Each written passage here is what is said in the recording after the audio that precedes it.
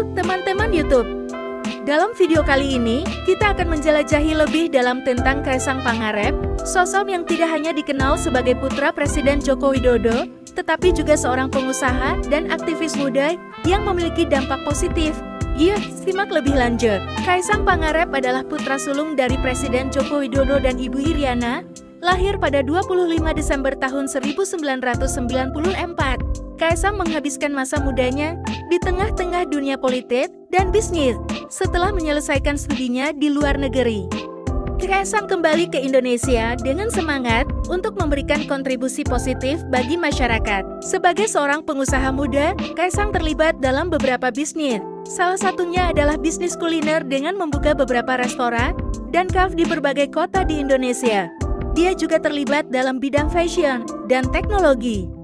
Kreativitasnya dalam memadukan gaya hidup modern dengan elemen lokal mencerminkan semangatnya untuk berinovasi dan mendukung perkembangan industri kreatif di Indonesia. Kasang aktif di dunia digital dan media sosial, terutama di platform seperti Instagram dan YouTube. Lewat akun-akun tersebut, dia berbagi pengalaman, pemikiran, serta pandangannya terhadap berbagai isu. Takasang juga menggunakan media sosial sebagai wadah untuk memotivasi dan menginspirasi generasi muda, serta memberikan wawasan tentang kehidupan sehari-hari. Selain sebagai pengusaha, Kasang juga terlibat dalam beberapa kegiatan sosial dan filantropik. Dia terlibat dalam berbagai kampanye kemanusiaan dan pembangunan masyarakat. Kasang aktif menyuarakan isu-isu sosial, termasuk pendidikan dan lingkungan.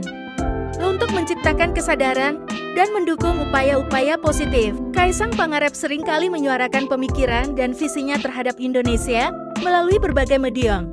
Visinya mencakup semangat untuk mendorong kreativitas, inovasi, serta partisipasi aktif generasi muda dalam membangun bangsa. Dengan latar belakang yang beragam dan kontribusinya dalam dunia bisnis, sosial, dan digital, Kaisang Pangarep menjadi inspirasi bagi banyak orang muda.